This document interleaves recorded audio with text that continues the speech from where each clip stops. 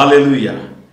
Dear friends, welcome as we are journeying in the book of the Acts of the Apostles. Today we are going to reflect on chapter 26. Here we have uh, 32 verses.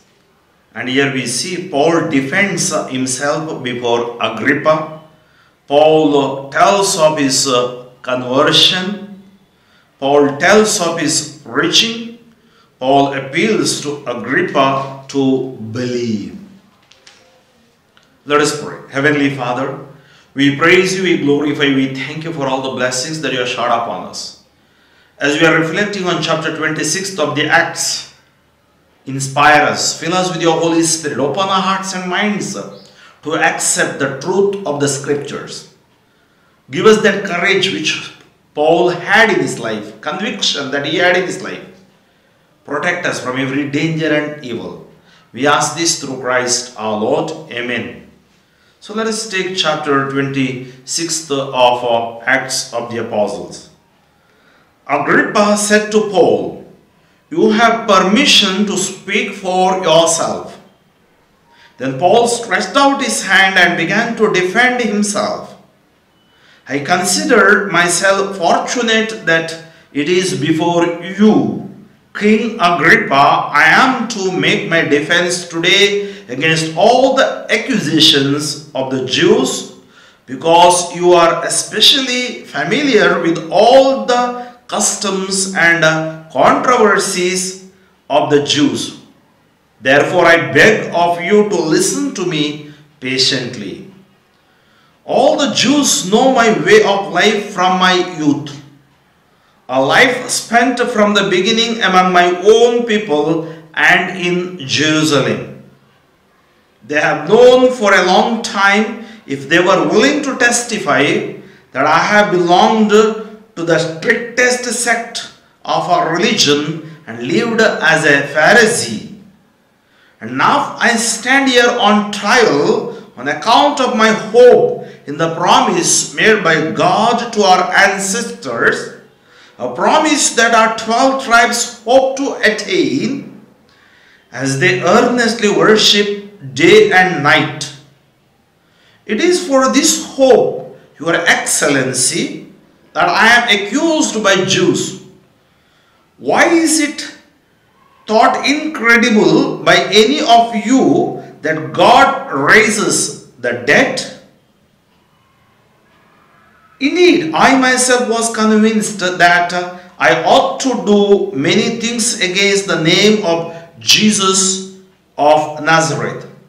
And that is what I did in Jerusalem. With authority received from the chief priests, I not only locked up many of the saints in prison, but I also cast my vote against them when they were being condemned to death by punishing them often in all the synagogues. I tried to force them to blaspheme, and since I was uh, furiously enraged at them, I pursued them even to foreign cities. With this in mind, I was traveling to Damascus with the authority and a commission of the chief priests when at midday along the road, Your Excellency, I saw a light from heaven brighter than the sun, shining around me and my companions. When we had all fallen to the ground, I heard a voice saying to me in the Hebrew language, Saul, Saul, why are you persecuting me? It hurts you to kick against the gods. It hurts you to kick against the goats. I asked, Who are you, Lord? The Lord answered, I am Jesus whom you are persecuting. But get up and stand on your feet.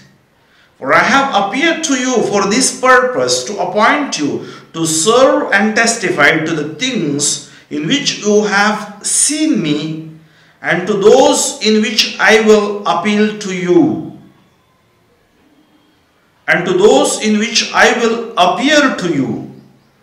I will uh, rescue you from your people and from the Gentiles to whom I am sending you to open their eyes so that they may turn from darkness to light and from the power of Satan to God, and that they may receive forgiveness of sins and a place among those who are sanctified by faith in me. After that, King Agrippa, I was not disobedient to the heavenly vision, but declared first to those in Damascus, then in Jerusalem, and throughout the countryside of Judea, and also to the Gentiles, that they should repent and turn to God and do deeds consistent with the repentance. For this reason, the Jews seized me in the temple and tried to kill me.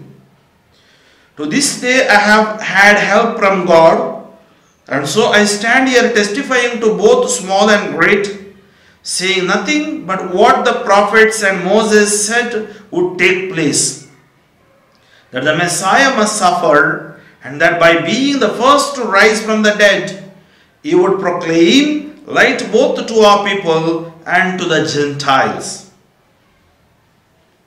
While he was making this defense, Festus exclaimed, You are out of your mind, Paul.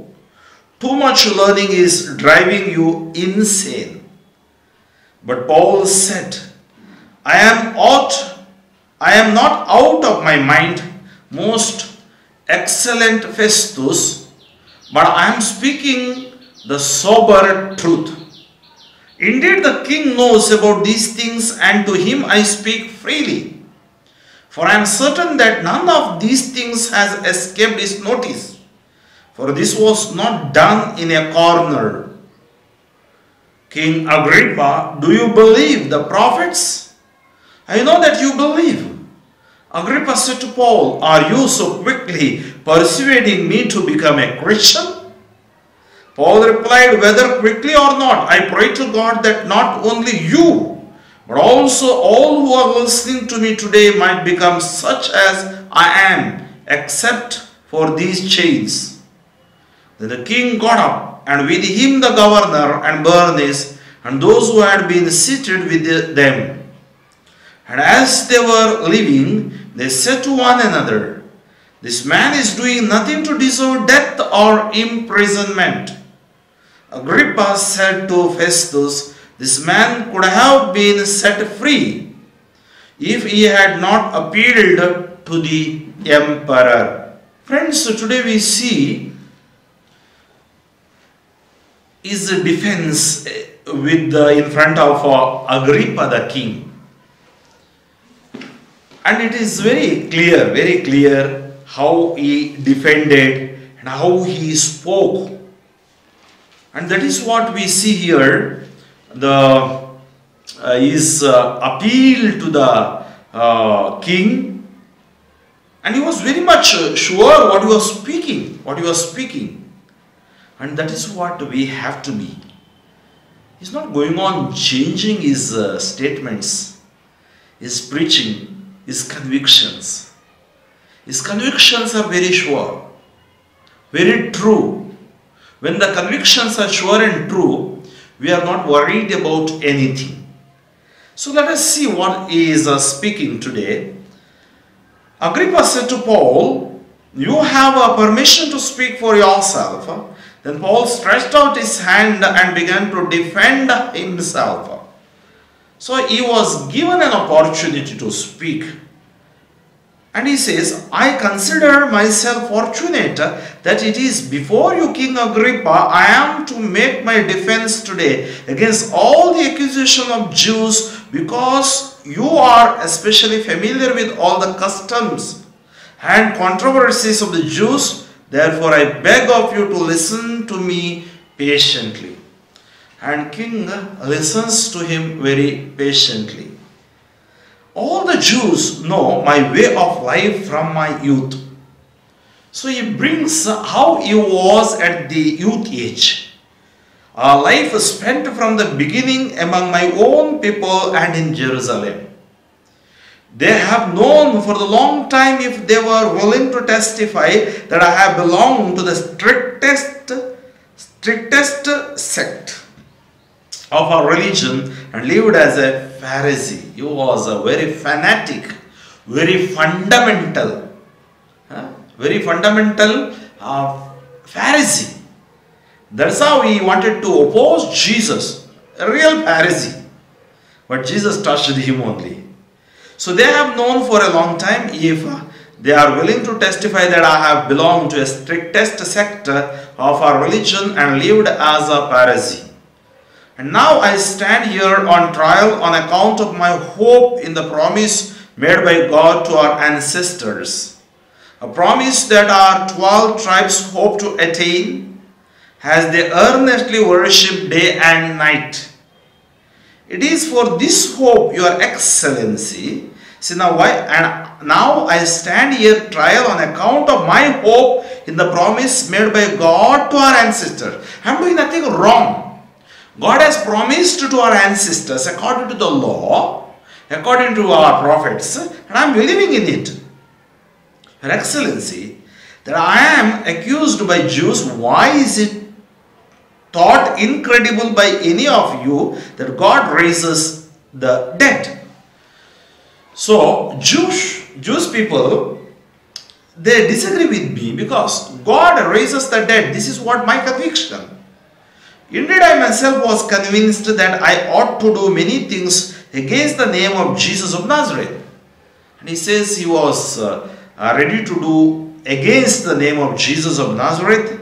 And that is what I did in Jerusalem with authority received from the chief priests. I not only locked up many of the saints in prison, but I also cast my vote against them when they were being condemned to death. And one among them in the Acts of the Apostle, I think chapter uh, 8, 7, where uh, I think 7, 7 chapter speaks about uh, uh, Stephen's, uh, you know, defense. Then from there, you see it is here. Acts 7. Stephen's speech to the council. And at the end, uh, see, uh, uh, chapter 7, 54 to 60. what What is telling?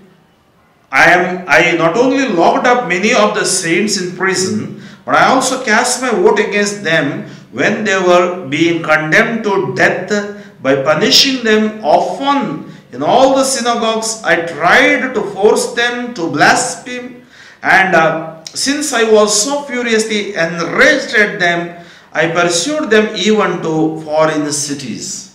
So I chased them away, and uh, I am the person who did it. So arrogant. And here you see, when they heard these things, they became enraged and ground their teeth at Stephen. But filled with the Holy Spirit, he gazed into heaven and saw the glory of God and Jesus standing at the right hand of God. Look, he said, I see the heavens opened and the Son of Man standing at the right hand of God. But they covered their ears and with a loud shout all rushed together against him. Then they dragged him out of the city and began to stone him. And the witnesses laid their coats at the feet of a young man named Saul. See how Saul killed, destroyed, and chased people away. Such a man I was, such an arrogant man I was. Imagine, friends, conviction of Paul is real. So he says, I pursued them even to the foreign cities. With this in mind, I was traveling to Damascus with the authority and commission of the chief priest. And at midday along the road, Your Excellency, I saw a light from heaven brighter than the sun shining around me and my companions. Now, third time in the Acts of the Apostles, Paul, uh, Paul's um, conversion is recorded. First time in the chapter 9, we have this 9 chapter verses 1 to 19 and second time in the chapter 22nd uh, verses 6 to 16 we have read it uh, in the chapter 22 he tells about his conversion uh, in front of his defense uh, in the council no in the council it says. So now again in the chapter 26 verses 12 to um, 12 to 18 he speaks about his uh, conversion his testimony. It's very important. I saw a light from heaven brighter than the sun shining around me and my companions. When we had all fallen to the ground i heard a voice saying to me in the hebrew language saul saul why are you persecuting me it hurts you to kick against the goats. I asked, Who are you, Lord? The Lord answered, I am Jesus, whom you are persecuting. So he is very clear what he saw, what vision that God gave him, what voice he heard in his life. And now that's how he was very bold enough to defend himself. So, what is important today for us is the conviction conviction of the truth. That's why faith, uh, Hebrews, so if you take Hebrews chapter, Hebrews chapter 11, see, now faith is the assurance of things hoped for. Faith is the assurance of things hoped for, the conviction of things not seen. Conviction, the resurrection of Jesus, is the conviction for us. Father, Son, and the Holy Spirit, triune God, conviction for us. We have heaven, conviction for us. Eternal life, it's a conviction. Faith, the conviction is given by the Holy Spirit. That's why we are baptized in the Holy Spirit. In our baptism, in our confirmation, we are confirmed. Now we should not waver, we should not get disturbed, we should not go away now, faith is the assurance of things hoped for, the conviction of things not seen. Indeed, by faith, our ancestors received approval. See, with the faith, we can receive approval. By faith, we understand that the world, worlds were prepared by the Word of God. So now how do you understand the worlds were prepared by the Word of God? In the beginning there was Word. Or in the beginning uh, uh, God who created the heaven and earth scripture says. So that what is seen was made from things that are not visible. So what is seen was made from the things that are not visible. So now Paul is convinced about this truth. So that's why he says, uh, um, you know, but I am speaking the sober truth. He says, I am speaking the sober truth. When Festus says, uh, you are out of mind. He can't be out of mind.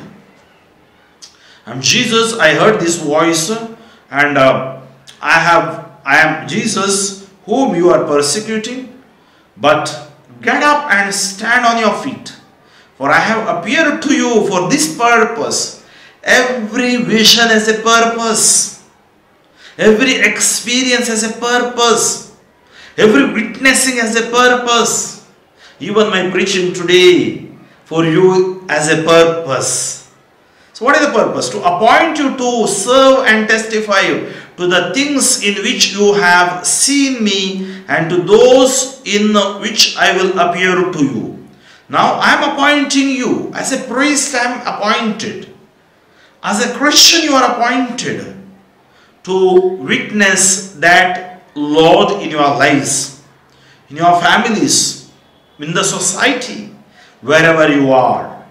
But get up and stand on your feet, for I have appeared to you for this purpose, to appoint you to serve and testify to the things in which you have seen me, and to those in which I will appear to you. I will rescue you from your people and from and from the Gentiles. I'll rescue you. To whom I am sending you to open their eyes so that they may turn from darkness to light and from power of Satan to God. So all preaching the mission is to turn people from the darkness to light, from the power of Satan to God. Today, you know, the Satan is uh, disturbing the nations, disturbing the authorities, disturbing this type of fundamentalist groups or fanatics. So, to open their eyes so that they may turn from darkness to light, only Jesus can turn us from darkness to light. The truth will set you free. John chapter 8, 31. You will come to know the truth, and truth will set you free. And from the power of Satan to God. Satan is there always to destroy, disturb. He has come to steal, kill, and to destroy. But I have come to give life, life in abundance. John 10 10.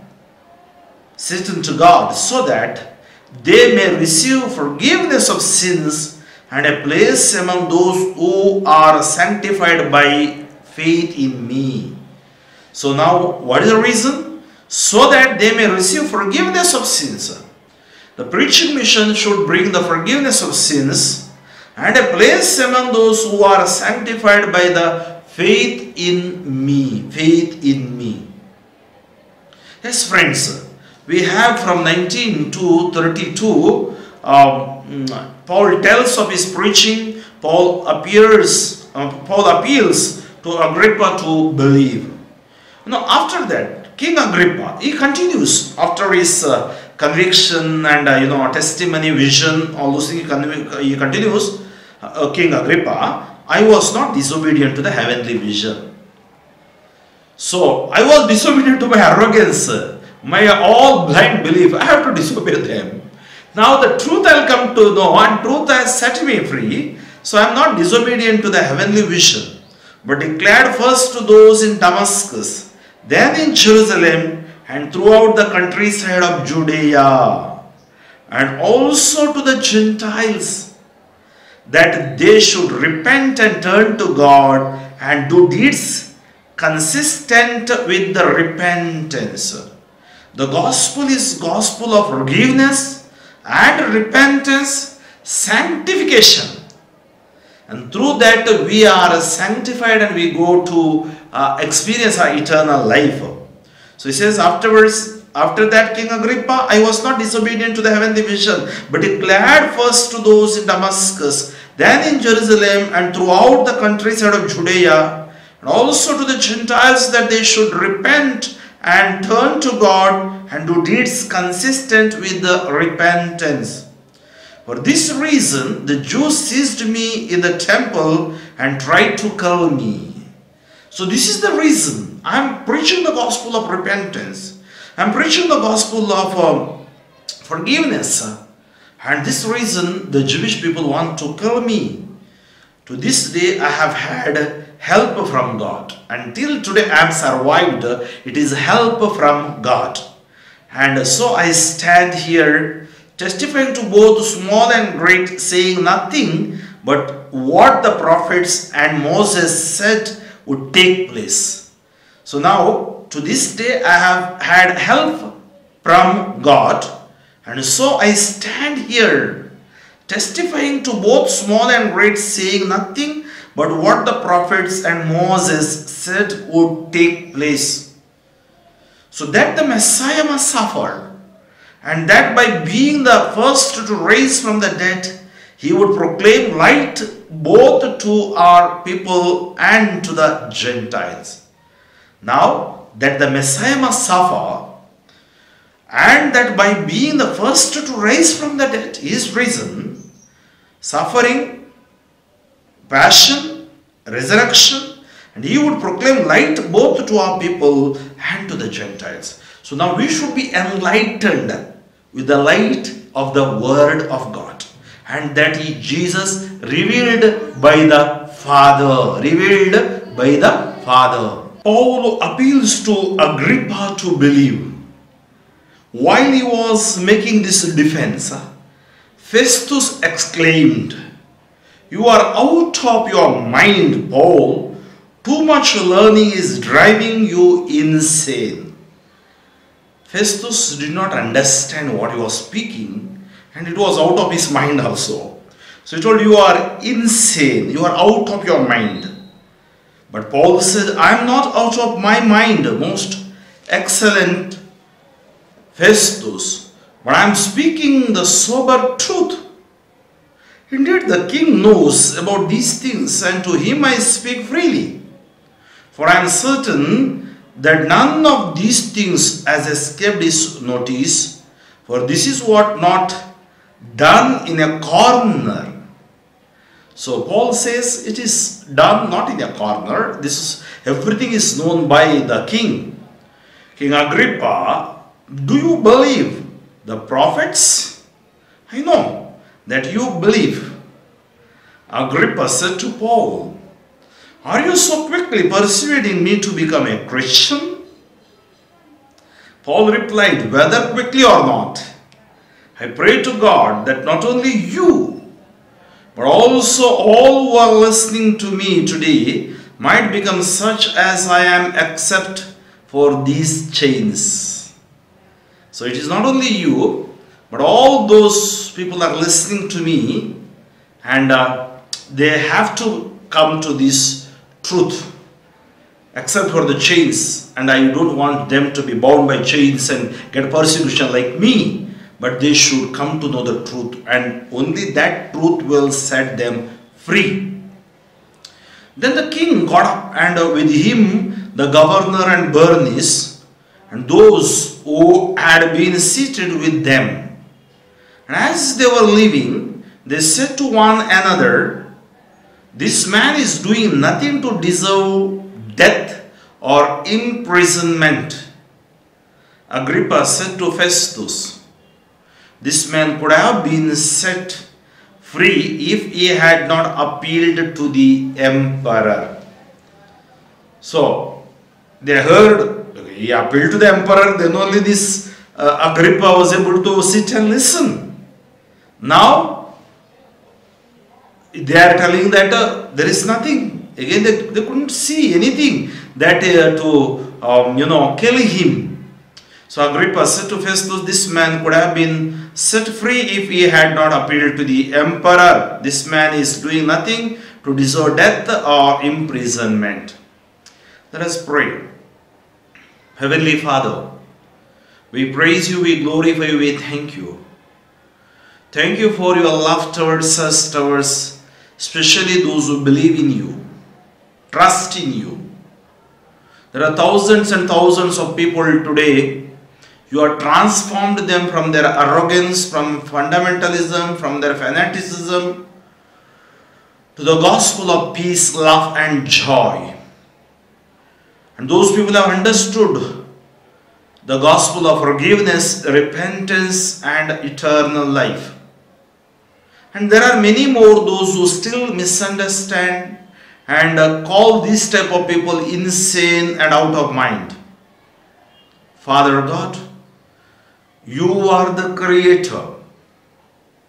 This creation always obeys you.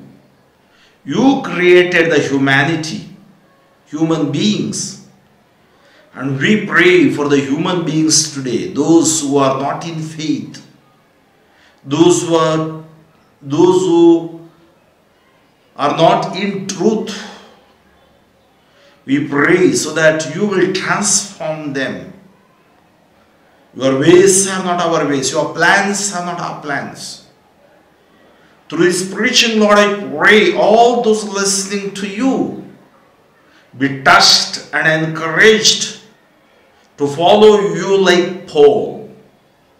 I pray for the people, those who are in need of your healing touch, people in need of your repentance and forgiveness, people who are in need of the real transformation. When that transformation happen in your name, I bind all the blocks, bondages, curses, and disturbances. I bind the sicknesses. I bind the sick minds, negative ideologies, fanatic and fundamentalistic ideologies. I pray so that the light will shine upon them, Lord. The darkness will vanish. Satan be defeated from their lives, Lord. I pray that the light of yours inspire them. Fill them with your glory, grace, anointing, Lord. As we preach this mission, especially through the gospel, through the book of Acts of the Apostles. Let that strengthen the faith those who listen to your servant. I pray so that you will inspire, you will touch, you will transform people from their arrogance, from their ignorance to the light and the truth that you are the Savior. Very especially, I pray for those people sick, heal them, suffering, protect them, and bring them back their good health. As you touched the man near the pool of Bethesda for 38 years, the woman in the marriage for 12 years, the deaf, dumb, and mute people, mute people, right now, touch them, Lord. In Jesus' name I pray. May Almighty God bless you, the Father, and the Son, and the Holy Spirit. Amen. Father Franklin D'Souza, Diocese of Shimoga, pray for me, friends. Amen.